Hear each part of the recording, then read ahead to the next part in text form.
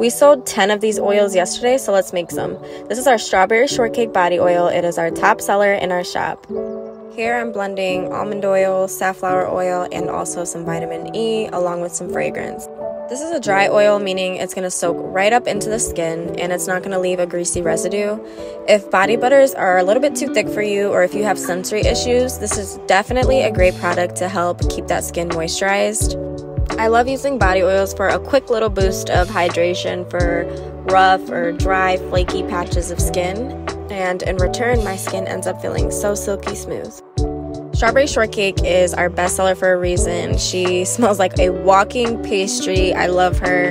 And the packaging, 10 out of 10.